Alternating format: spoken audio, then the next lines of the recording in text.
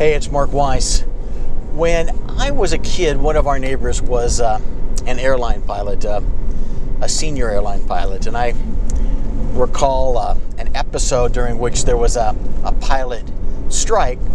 They were striking for uh, more money, obviously. The resolution was interesting.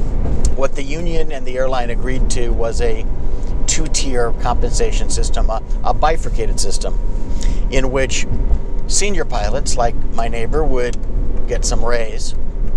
And from then on on, from then out, all new pilots would be paid at a much lower rate pursuant to a different system, which would never really bring them to the same high salary level uh, that my uh, that my neighbor enjoyed. So how'd they get away with it? They got away with it because there were only a hand a handful of airlines, in other words, big plane airlines, and there was a union representing all of them. The to be hired in the future pilots weren't members of the union, so they couldn't vote against it.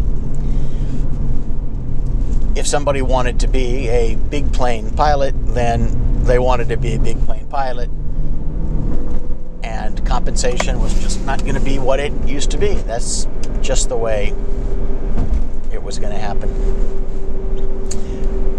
I saw something today um, in a legal online newspaper newsletter concerning the negotiation by the um, not the not the negotiation but the announcement by uh, by the handful of very large law firms which um, compete for new hires by offering higher and higher salaries, pushing numbers up to the $200,000 level for brand new lawyers. When they do that, in order to keep the rest of their employed lawyers from immediately jumping ship, they have to raise all of their salaries too. Huge compensation pressure, and apparently, some law firms are wondering how they're raising rates, how they're going to pay them without reducing partner compensation in order to pay for it, which will then create pressure on the partnership to keep partners. You know, this is something that also plays out in medical groups.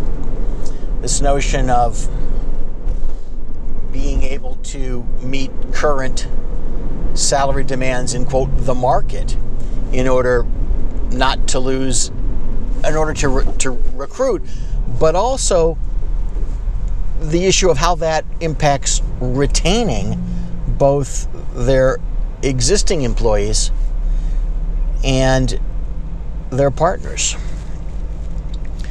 You know, the medical group situation, for example, is very different from the airline situation. It's not quite as easy to jump to a bifurcated system uh, because there are many, many medical groups, many, many employers of one sort or another.